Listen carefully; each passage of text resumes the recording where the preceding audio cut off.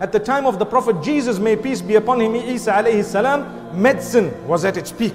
You know, people were getting excited about how this one is cured and that one is cured. And when he came in, the miracles that he was granted by the power of Allah subhanahu wa ta'ala, they were such that even the person who died was given life by the will of Allah subhanahu wa ta'ala. And that was a miracle of Isa alayhi salatu wasalam. And the Quran makes mention of it.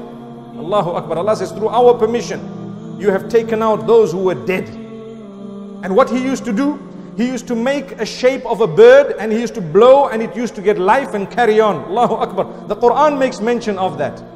Remember, O Isa alayhi salam, when you made these shapes, the shape of a bird, blow in it and it would get life by our permission. This is the gift of Allah subhanahu wa ta'ala. Musa alayhi salam, he was at a time when engineering was at a very advanced stage. You find the pyramids and so many other proofs and evidences of how they were advanced in that regard. What happened?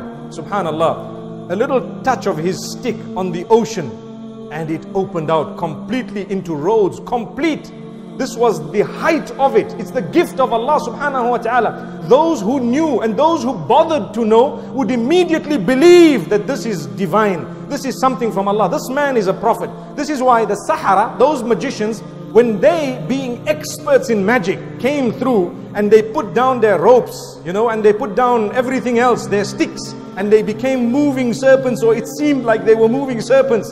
And Musa alayhi salam, for a minute, you know, he was about to put asa, his stick down. And Allah subhanahu wa ta'ala strengthened him and told him, You put it down by our help. And as soon as he laid it down, we all know it devoured the rest of what there was. What did the magicians do? What did they do? They immediately fell prostrate because they knew this is not magic, man. Not magic.